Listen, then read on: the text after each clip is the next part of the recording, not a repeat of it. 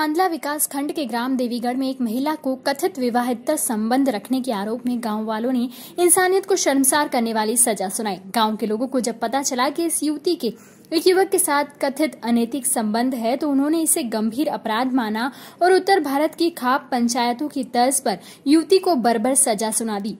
सजा में कहा गया कि युवती को सार्वजनिक तौर पर पति को कंधे पर बैठाकर गाँव का चक्कर लगाना होगा।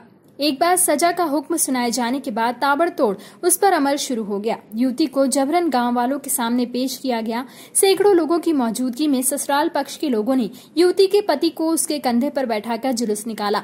इस दौरान गाँव के कई लोग नाचते गाते हुए चल रहे थे।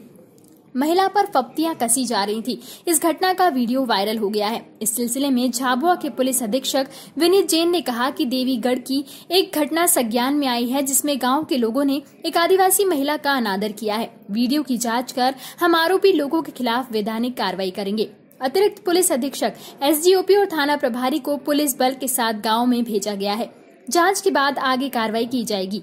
जेन ने बताया कि फ़िलहाल इस मामले में कोई शिकायत दर्ज नहीं की गई है। Subscribe our channel and press the bell icon for more updates